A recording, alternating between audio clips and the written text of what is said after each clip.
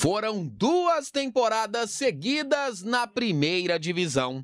Em 2019, chegou às semifinais contra o Goiás. E em 2020, acabou rebaixado diante do Vila Nova. E é justamente com o objetivo de retornar à primeira divisão que o Goiânia do presidente Alexandre Godoy inicia suas atividades em 2021. O Goiânia é sempre, é como é gigante, né, sempre bem cobrado por isso. Né, nosso dever é, é voltar o Goiânia para a Série A do ano que vem.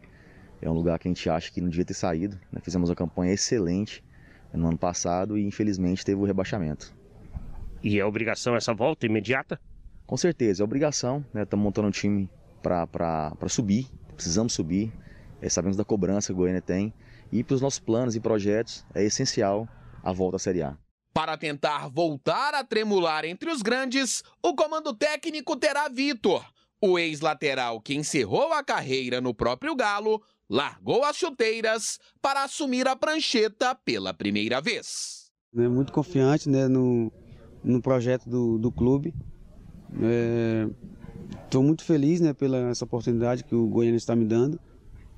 É uma responsabilidade muito grande né, de, de estar à frente do, do comando do clube. Né, o clube que me acolheu bem também, né, como, como atleta, depois como auxiliar, depois como treinador do sub-20 e agora estou tendo essa oportunidade na equipe profissional.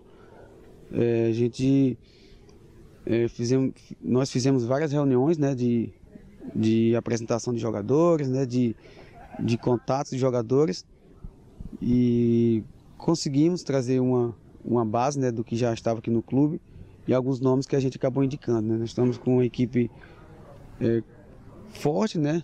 E agora cabe a gente é, fortalecer cada vez mais no dia a dia com o trabalho, né, com a dedicação da, da comissão, dos jogadores, dos atletas, da, da diretoria.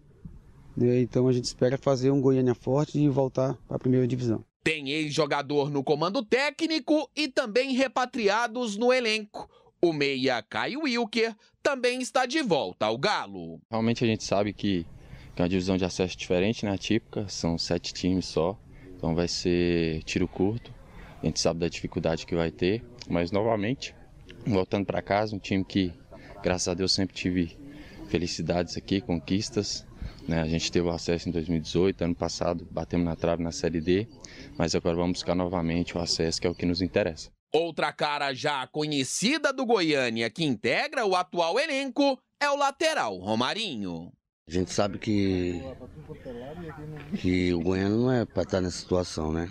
Mas já que está, a gente tem que fazer o impossível para colocar o Goiânia onde, onde deveria estar sempre na primeira divisão.